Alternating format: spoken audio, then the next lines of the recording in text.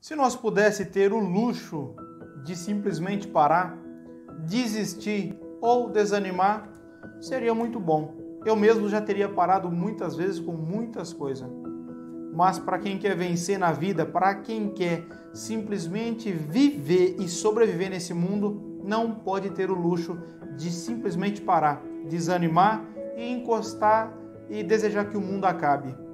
Se você já pensou ou se você pensa nisso e a vontade de parar e desistir, esse vídeo foi feito para você. À luz da palavra, vamos falar hoje a respeito da importância da continuidade e da retomada na nossa vida.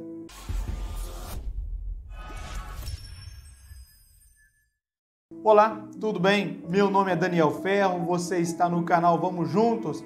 Temos a missão de compartilhar a palavra de Deus compartilhar conhecimento bíblico, emocional e espiritual.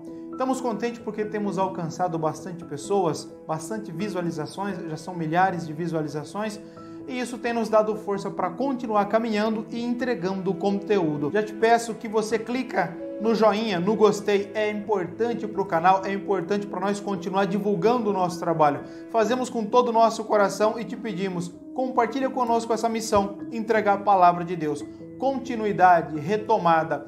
Se tem algo na vida que nós precisamos estar focado, é nas retomadas. A vida não é feita de um levante único, de uma única caminhada. Vou levantar, vou caminhar, fiz um plano, um projeto, um propósito e eu vou caminhar. Levantei e vou do início ao fim sem enroscar, sem tropeçar, sem cair. É quase impossível isso acontecer. Porque quando nós esticamos uma linha no nosso pensamento e dizemos, eu vou do ponto A ao ponto B, muitas vezes nós não contamos que vai ter muitas voltas, muitos tropeços e isso faz nós desanimar. Mas o sucesso eu te garanto, à luz da palavra, à luz do conhecimento emocional, do estudo, à luz do que você quiser. A vida é feita de continuidade e retomada. Tem uns versículos na Bíblia é, no livro de Jeremias, eu acho muito interessante. Jeremias é um profeta que, quando Deus chamou ele para ser profeta, ele deu sem desculpa, mais umas 300 desculpas ele deu. Eu não sei falar, eu falo como criança, ele fez de tudo para não ser um profeta. Deus falou: Não, já estava acertado, você é um profeta. Eu já te dei como profeta pelas nações. Mas no capítulo de número 20, no versículo 7 ao 9, você vai entender Jeremias falando algo interessante, dizendo que Deus o enganou. É, ele falando para Deus o seguinte: é, o Senhor me enganou, o Senhor me iludiu e iludido eu fiquei. O Senhor falou para mim algumas coisas, eu acreditei, preguei e fiquei confundido. E a sua palavra em mim se tornou um escárnio, um opróbrio, uma vergonha. E eu sou é, motivo de zombaria de todos. E eu não quero mais pregar. Mas quando eu digo que eu não quero mais pregar, a sua palavra arde em mim. Ela arde dentro da minha alma e eu não consigo parar de pregar. Tá aí o segredo. Tem que continuar. Mesmo quando você não quer, o importante é continuar. Mesmo quando você não sente de fazer, o certo é continuar. Eu vou ler o versículo de número 9 para você, do capítulo 20 de Jeremias. Então disse eu: Não me lembrarei dele, dizendo a respeito de Deus, né? E não falarei mais no seu nome. Mas isto foi no meu coração como fogo ardente, encerrado nos meus ossos, e estou fatigado de sofrer e não posso. Eu não posso parar de pregar. Eu não posso parar de levar a mensagem, porque ele assim tinha sido escolhido para isso. E eu já te pergunto aqui, na metade desse vídeo, para que você foi escolhido? Qual é a missão da tua vida?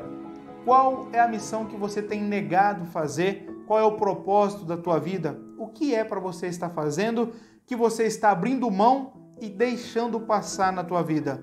Casamento não é fácil, cuidar de filhos não é fácil, ser um filho de Deus e um servo de Deus também não é fácil, caminhar à luz da palavra também não é fácil, mas precisa continuar. Se você pegar os exemplos de pessoas que venceram, mesmo no mundo material, financeiro, você vai ver que os ataques foram enormes, mas que eles simplesmente levantaram e continuaram, levantaram e continuaram novamente. Se você caiu uma, duas, três vezes, Está pensando em desistir? Não faça isso. Você pode estar a um passo, a um único passo da tua vitória, a um metro, um milímetro, um centímetro de receber as bênçãos de Deus na tua vida. Não desista nunca. Continue caminhando, continue lutando, continue sonhando. No Novo Testamento, nós encontramos um exemplo de um homem determinado. Se você conhece um pouco da palavra de Deus, você já ouviu e leu a respeito de Paulo, um homem chamado por Jesus Cristo a caminho de Damasco. Ele escreveu 14 cartas, ou você pode contar com 13, mais a carta de Hebreus, que nós sempre acreditamos essa carta de, aos Hebreus a Paulo também. 14 cartas, praticamente esse homem escreveu, mas ele é tão conhecido e ele fez um trabalho tão lindo para Deus, para a humanidade, para nós, mas se você está achando que alguém que é escolhido por Deus passa por facilidade, eu vou ler para você alguns versículos de Paulo dizendo que ele passou, mas continuou. Na carta de 2 aos Coríntios, capítulo 11, versículo 24 ao 26. Olha o que eu vou ler para você, o que esse homem passou. Recebi dos judeus cinco quarentenas de açoites menos um. Três vezes fui açoitado com varas uma vez fui apedrejado, três vezes sofri naufrágio, uma noite e um dia passei no abismo. Em viagens, muitas vezes em perigos de rios, em perigos de salteadores, em perigos dos da minha nação, em perigos dos gentios, em perigos na cidade, em perigos no deserto, em perigos no mar, em perigos entre os falsos irmãos. Se eu for ler para você aqui, tem muitos versículos dizendo todo o sofrimento que ele passou. Retoma. Tem desafio? Respira e retoma a sua vida e continua a luta. Não deu certo? Não deu certo esse projeto? Volta, analisa e continua. A vida é feita dessa forma. Quando você entra em um caminho, você entra para adquirir experiência. Então você vai se aplicar, vai estudar, vai se determinar, mas não deu certo? Repense, veja no que você errou, retome e continue. E sempre continue. Se você tiver na sua vida continuidade, é 50% do sucesso vai vir na tua vida, em qualquer questão. E aqui a nossa missão é compartilhar da palavra de Deus, então vai um recado para você. Se você já caiu, deslizou e fracassou na fé e está achando que acabou para você, que não tem mais jeito, olha a palavra de Deus Olhe os exemplos, olhe os exemplos de Davi. Ah, mas Davi está no Antigo Testamento. Olha os exemplos de Pedro, negou seu amigo, fez tantas coisas e Cristo, primeira vez que voltou, foi atrás de Pedro, já avisou para Maria lá na porta do sepulcro: vai atrás dos meus discípulos e a Pedro, e diz que eu estou indo atrás dele. Deus está com os braços abertos para você. Você só não pode continuar no pecado fazendo tudo o que o mundo faz e querendo que Deus te ama. Deus continua te amando, mas aproveita que as portas ainda estão abertas. Volta para Cristo, se entrega para Ele. E se você já está nos caminhos de Deus, muito bem-aventurado é você, meu irmão, minha irmã. Continue se esforçando. E na vida material é assim com teu filho, com tua filha, com tua família dentro de casa. Continue, não desista jamais não deixe um homem, uma mulher e ninguém falar para você que não tem jeito, que já acabou. Não deixe o médico dizer para você que não tem jeito, que o resultado do exame é, já te condenou e você tem tanto tempo de vida. Não deixa nada te condenar. A última palavra é de Jesus Cristo. Se Jesus não disse para você que acabou, é porque não acabou.